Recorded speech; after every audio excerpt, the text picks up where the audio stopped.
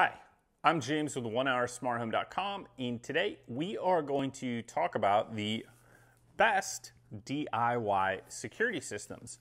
And I'm going to give you a little primer on DIY versus professional security systems so you understand kind of what the differences are. So, DIY security systems are one of those things that has come out probably in the last five, maybe 10 years. Uh, and what they are are security systems that you can set up and install yourself rather than calling a professional to do it.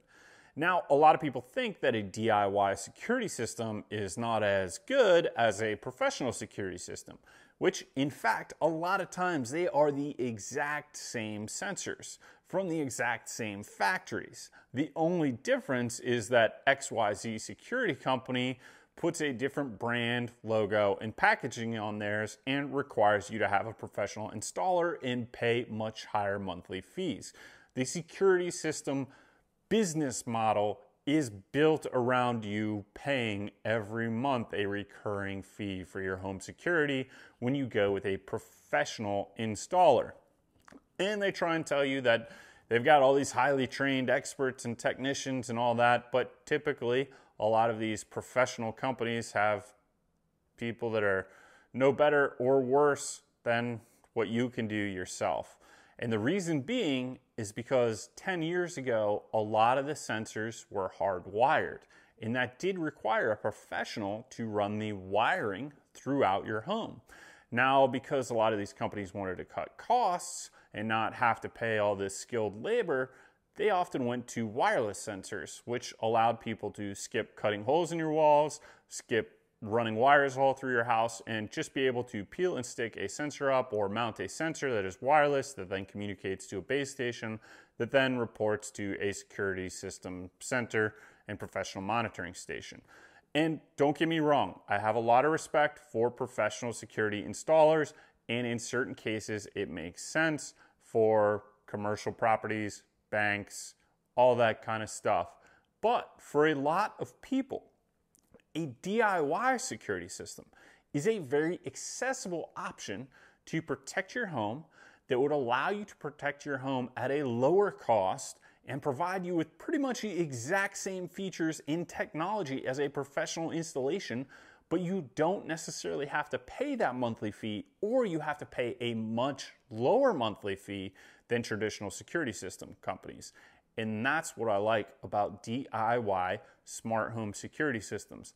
They add more accessibility at a lower price point so that more people can be protected. And I think that is the point and very important for DIY security systems.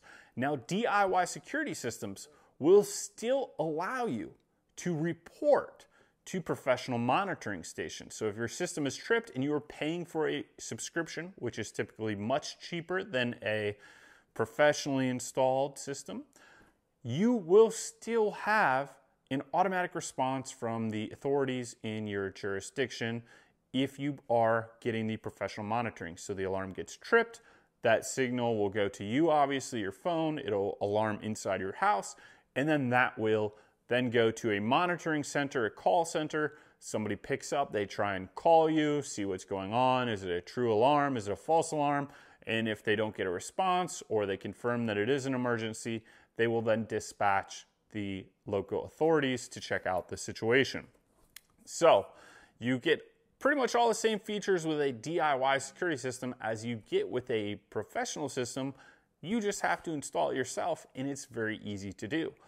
But what DIY security system should you get? So we've got this comparison chart here of best DIY security systems, and these best systems also happen to be the most popular systems that are out there on the market right now. You've got Ring, Nest, and SimpliSafe. And what I did here was just compare them over four categories. More check marks means a better or higher rating, less check marks means a lower or uh, lower rating. So we've got function, sensors, cost, and reliability. And the function and sensors kind of overlap, and we'll just go through each category and describe each one of these so you get a good idea of kind of what these are about.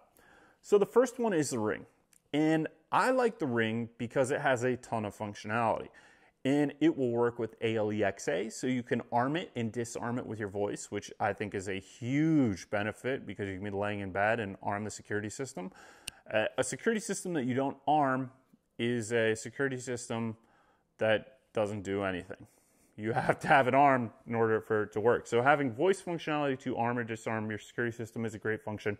And of course, you got to put a passcode through your voice with that. So it does have security there. You can also arm it from the keypad or you can arm it from your phone.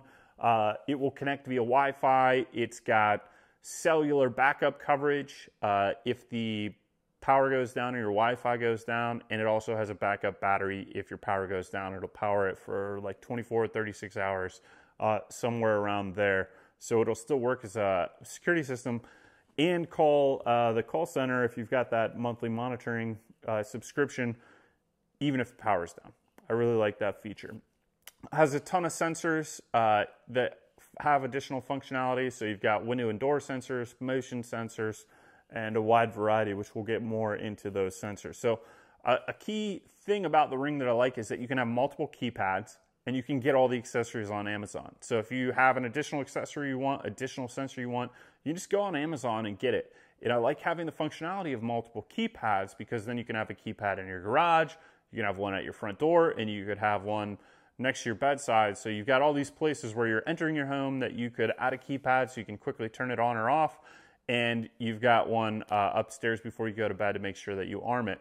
And why I like having multiple keypads or access points is because a lot of people are going to come in through the garage most of the time if you're driving to and from work, or if you are coming in through your front door, you can have one there so that you can turn it off right away when you get in the door and have a really short delay, which I think is important for turning the alarm on almost immediately when someone unintended comes into your house. You want to have a super short delay. You don't want the alarm to go off like a minute after or two minutes after, because what good does that do you if you're in your house?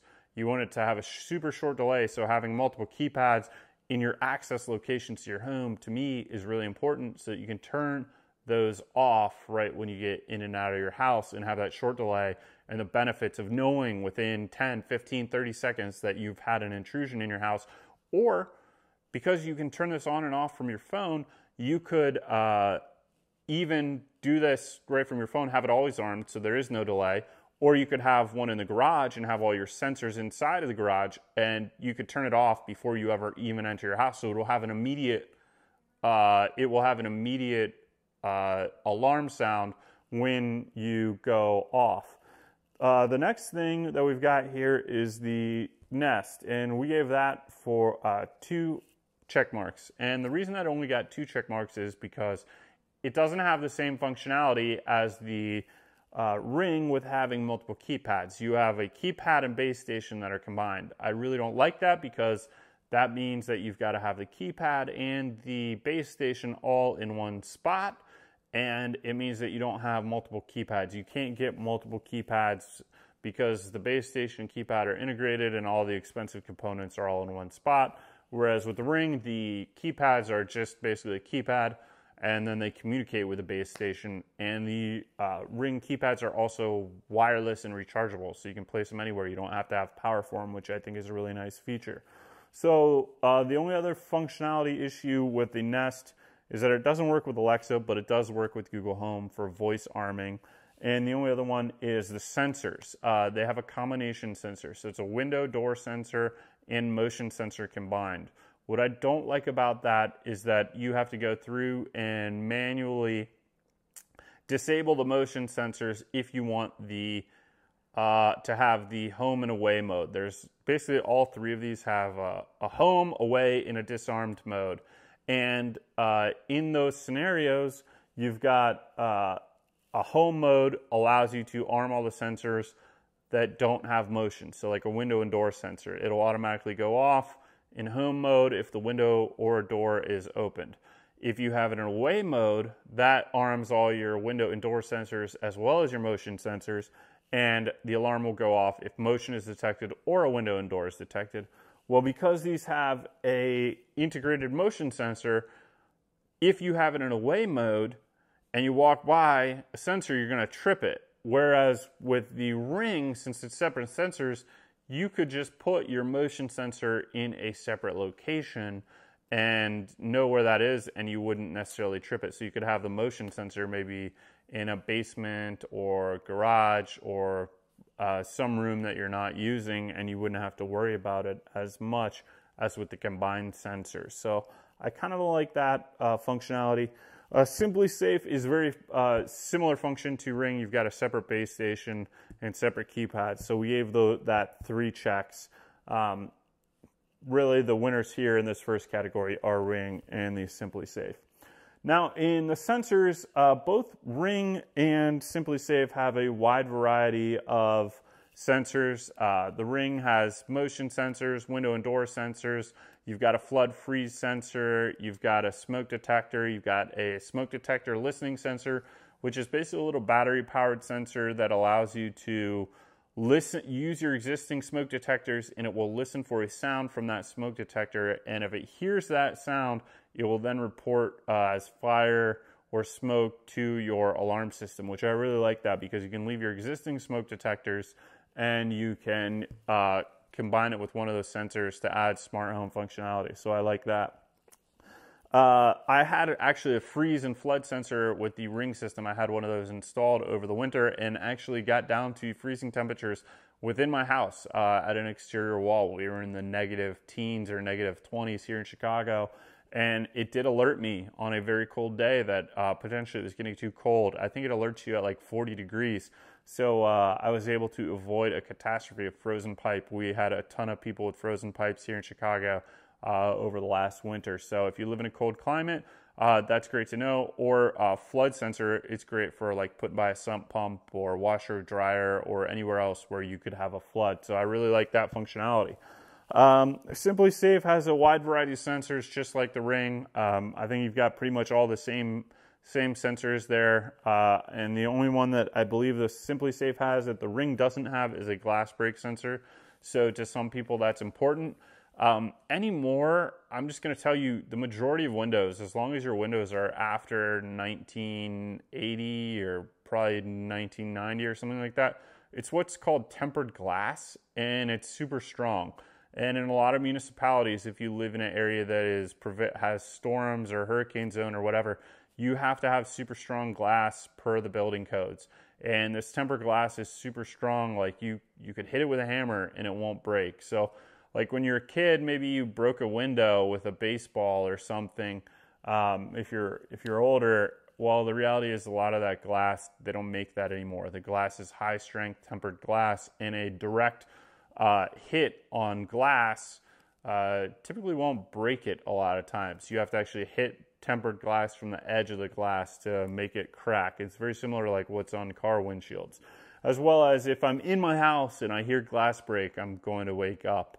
Uh, it's not a quiet thing to do anymore. I've literally I've thrown a hammer at a tempered glass window and it did not break. And uh, you'd be surprised. It's it's very strong. So the glass break sensor to me is not super important anymore. Um, you can supplement uh, an area that you're worried about glass break with a motion sensor because it would detect something coming through the window. Um, so that's kind of a thought there. But still, it is a difference. The SimpliSafe does have more sensors than the Ring. That glass break sensor really is the only one that I know of that is different. Now we've got uh, oh, in the the Ring, uh, the Nest, uh, like we said, they only have one type of sensor. They only have the motion sensor with a built-in window and door sensor. So it's an open-close sensor and a motion sensor all in one. That is the only sensor that the Nest has. So to me, that's kind of a disadvantage. Both of these two have a ton of sensors, and this has only one. That's why we gave this one check mark, and these other ones get three. Um, in terms of cost, we've got the uh, Ring, SimpliSafe, and Nest, and uh, the all three of these uh, they let you actually self-monitor, so they don't make you pay a fee to monitor your security system. You can actually do it yourself. So it would go off, it would alarm, it will alert you on your phone, and you would be responsible for calling the authorities to say, hey, I've got an emergency, somebody's breaking into my house, um, whatever. And that's free. Monthly cost is zero. Uh, so I do think that's a good feature because a criminal doesn't know when the alarm goes off if it's calling to the police or if it's just calling to you. And you could be just as effective as long as you're paying attention to it. Um, but in terms of cost, if you do want professional monitoring, the Ring provides an excellent package. Uh, it's $10 a month for professional monitoring, which means that when you get an alarm, it will go to a call center. The call center will then call you to verify, hey, is everything all right? And if they can't verify that everything is all right, they will then call the authorities to check on you, see what's going on, uh, issue an emergency alert to the authorities that your alarm is going off. With the Nest, you're going to have a cost, and that's so it's ten dollars a month, and that includes unlimited. Uh, professional. It includes unlimited recording of. I don't know how to say this. Your video footage from as many ring cameras as you want to have on your property at one location will be stored for like 30 to 60 days and that's included. So with uh, a lot of these other plans, or if you only have the Ring doorbell or Ring cameras, you have to pay like three dollars a month to store that footage. Well, if you get the professional monitoring, the professional security system with a professional monitoring, they just include all that recording costs for you. It's included. You don't have to pay for it anymore. You don't have to pay the $3 a month. So you could have like 10 cameras, which would have cost you $30 a month. Um, but now you're only going to pay the $10 a month professional alarm monitoring, and all those security cameras recording that footage is free. With the Nest, uh, they've got, uh, you know, I think it's the highest cost plan out there. There's some deals that you can do. Um, it's anywhere between like 20 and 34 $35 a month. It changes all, all the time based on the promotions. Um, but basically, if you get it from particular providers and particular places that are selling it and you commit to a like one or two or three year contract, you can get the Nest professional monitoring a little bit cheaper around that $20 price point. Um, SimpliSafe, I believe it's right around like 12 to $15 a month for the professional monitoring system. And it's pretty much a flat rate. Uh, you can do some discounts when you're buying it in terms of getting like a month free here or there. They're always running promotions. But in terms of these, uh, in terms of overall professional monitoring cost, it goes uh, Ring is the cheapest, SimpliSafe is the next cheapest, and Nest is the most expensive. Um, so that's something you can, should consider when you are uh, buying one of these. What is the monthly cost, as well as what is the cost of the accessories? So you can look up the cost of the accessories for the Ring on Amazon. Uh, we'll include some links to that below. Pretty actually inexpensive. It's like two sensors for 40 bucks for the window and door sensors, or maybe $30. I'm not exactly sure, but they do offer uh, some good deals on this stuff. If you pick them up like Black Friday or when they have a launch event, there's some good deals on that. And the overall system, you can get started for pretty inexpensive.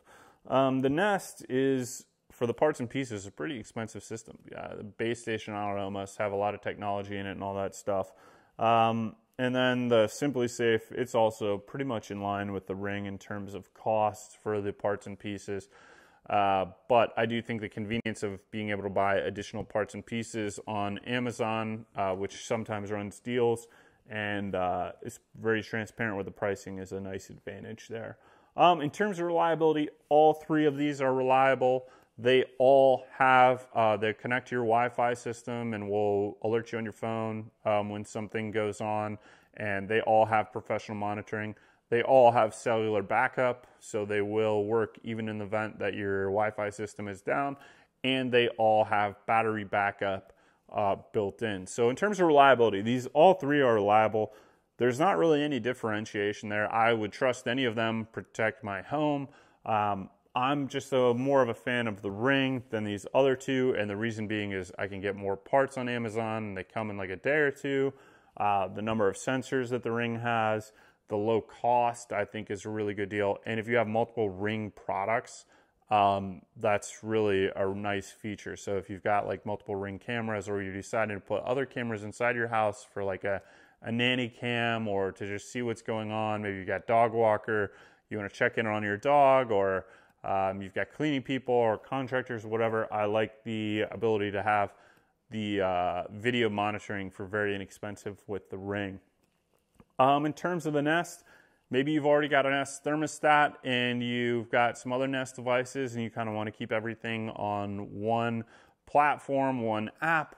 Um, the Nest is then a good choice. Uh, but I really think that by the time you go through all the screens and everything, because nothing is like instantaneous on any of these, that just clicking on a different icon on your home screen to go from your Nest thermostat to your Ring security system or your Nest thermostat to your SimpliSafe security system, I don't think it really matters.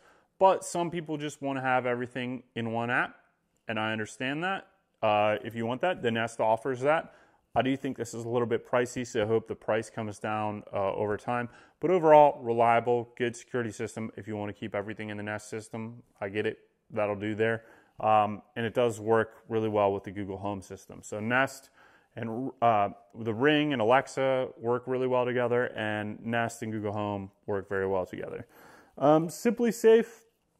Now this doesn't have like the ecosystem that these have behind them because Nest is part of Google and Ring is part of Amazon and all those companies that work together like Alexa. But SimpliSafe, it's like just a security company. It's just an independent security company They've been around a long time. They have a ton of advertising. You probably hear about it a lot. Uh, it's simple to set up, easy to set up, and uh, it's SimpliSafe. There you go. But uh, overall, you know, as time goes on, it might be better to invest maybe in one of these two that has more functionality with these giant players behind it with Ring and Nest just because as like voice automation, voice assistance, all that stuff becomes more popular these two kind of have that advantage because they're part of those companies doing that. And that's not to say SimpliSafe can't partner with them and have uh, some of the same capabilities, which they already do. Um, but just down the road, uh, you you might want to think about that. Um, overall, SimpliSafe does offer a good low cost monthly value. Um, by the time you look at all the parts and pieces, you can really get a, a good system for not too much with SimpliSafe. So that's you know some people just want that, want a basic system, and uh, want the low cost, and, and this provides that good option. Really, SimpliSafe and, and Ring uh, do provide that, as well as SimpliSafe just has a lot of good sensors. I like, you know, if you really want to go crazy with the sensors, um, SimpliSafe has a, a, good selection of those versus the Nest has fewer, and the Ring has maybe like one or two fewer than the SimpliSafe, so that could be important to you. But overall, you can't go wrong with any of these three. Uh, as we're approaching the holiday season, um, going into Black Friday and all that stuff, I would check out if you're considering a security system. I would check out these and see what deals you can get on these. Um, because you don't have to have the professional monitoring plan, I do recommend just having a security system from your home because being alerted if something is going on, um, as well as being able to alert uh, intruders that, hey, we've got a security system, it's going off, it's probably calling the cops, is a lot of value that can deter someone from entering your home or once they enter, they could leave. And if you're inside your home and one of these go off, it's going to one alert you to be able to take action, whether it's call the police um, or get all your family into one room or find a way to protect yourself. Uh, I think that's a huge advantage being alerted to that rather than just being surprised. Uh, so picking up any one of these is a, a good idea, a good way to protect your house, to protect your family, and everything in it. And when you think about all the money that you pay for either rent or renter's insurance or home insurance, home in, homeowner's insurance, mortgage payments, you can get into any one of these for less than $500 to get started. And a lot of them a lot less expensive than that. Uh, in the hundreds of dollars, you can even get started. And I think that having a security system, even if you don't get the professional monitoring, is a great idea. And if you want to pay for the professional monitoring, is also a great way to add that additional protection.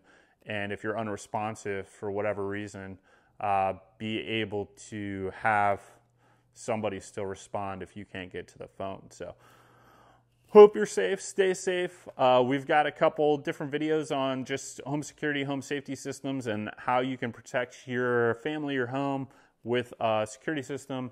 And we hope you enjoyed this rundown of our best DIY security systems. You can do this. You don't even need a screwdriver for any of these systems to install. They're all peel and stick anymore. So it's very easy to do. I highly recommend you take this up as a weekend project or a one day project or a couple hour project even and uh, get started with your security system setup. So thank you for being here. Thank you for watching this video. Uh, please like this channel. Please subscribe and click on any of the links below if you want to uh, help us, you want to support us, and that is all we have got.